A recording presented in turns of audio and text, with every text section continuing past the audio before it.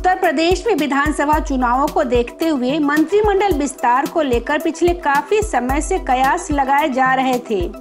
सूत्रों के अनुसार जल्द ही यूपी में मंत्रिमंडल विस्तार किया जाएगा। जानकारी के अनुसार जितिन प्रसाद और संजय निषाद के नाम मुहर लग चुकी है। उत्तर प्रदेश में आगामी विधानसभा चुनाव को देखते हुए जल्द मंत्रिमंडल विस्तार होने वाला है। इसके लिए कई बार चर्चाएँ पहले भी तेज हुई है। सूत्रों के अनुसार पिछले दिनों केंद्रीय गृह मंत्री अमित शाह के घर पर हुई मीटिंग के बाद मंत्रिमंडल विस्तार का रास्ता साफ़ हो गया है।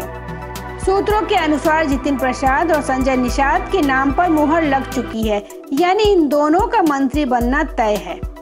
वहीं मंजू सिवास, सोमेंद्र गुजर आशीष पटेल, राहुल कौल, संजय गौड़ रवि सोनकर, सहेंद्र रमाला, तेजपाल नागर, संगीता बलवंत विंद एमपी सेंधवार, बम्बा लाला दिवाकर के नाम की भी चर्चा चल रही है।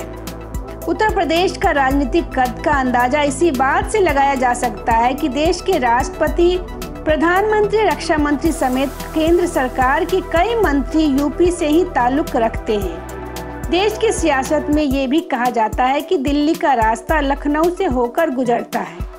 उत्तर प्रदेश में विधानसभा चुनाव कुछ महीने बाद ही होने वाले हैं। इसलिए इस मंत्रिमंडल विस्तार का सीधा असर चुनाव पे पड़ेगा। इस मंत्रिमंडल विस्तार में जातीय समीकरण का पूरा ध्यान रखा जाएगा। सूत्रों से मिली जानकारी के अनुसार पहले लखनऊ में सरकार और संगठन की बैठक होगी। इसमें संभावित मंत्रियों की सूची को अंतिम रूप दिया जाएगा। इसके बाद केंद्रीय नेतृत्व की सहमति ली जाएगी और अंतिम मुहर लगने के साथ ही मंत्रिमंडल विस्तार किया जा सकता है। उत्तर प्रदेश सरकार के मंत्रिमंडल में तेईस कैबिनेट मंत्री, नौ राज्य मंत्री स्वतंत्र प्रभार, जबकि 21 राज्य मंत्री हैं। इस तरह से योगी सरकार कुल मंत्रियों की संख्या तिरपन है, जबकि 60 मंत्री यूपी में हो सकते हैं। इस तरह से पाँच सात मंत्री बनाए जा सकते हैं। ऐसे में योगी सरकार अगर कैबिनेट से किसी भी मंत्री को नहीं हटाती है तो भी छह नए मंत्री बनाए जा सकते हैं। इसमें ओबीसी, ब्राह्मण के साथ ही अन्य जातियों को साधने की कोशिश हो सकती है। सरकार के 19 मार्च 2017 को गठन के बाद योगी सरकार ने 22 अगस्त 2019 को मंत्रिमंडल विस्तार किया था। उस दौरान उनके मंत्रिमंडल में छप्पन सदस्य थे।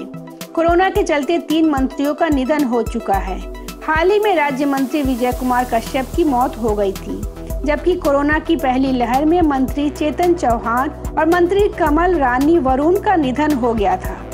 पहले मंत्रिमंडल विस्तार में छह स्वतंत्र प्रभार मंत्रियों को कैबिनेट की शपथ दिलाई गई थी। इसमें तीन नए चेहरे भी थे। Bureau report, public news.